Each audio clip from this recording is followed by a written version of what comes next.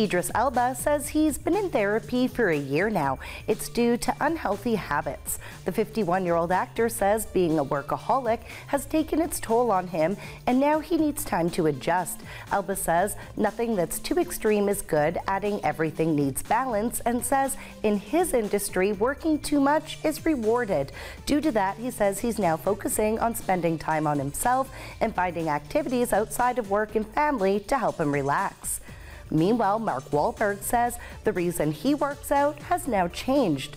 Wahlberg says he used to work out for aesthetic purposes, but now he's doing it for longevity. He says he wants to live a long time and knows a healthy lifestyle is a great place to start. For Star Watch, I'm Ashley Camuzzi.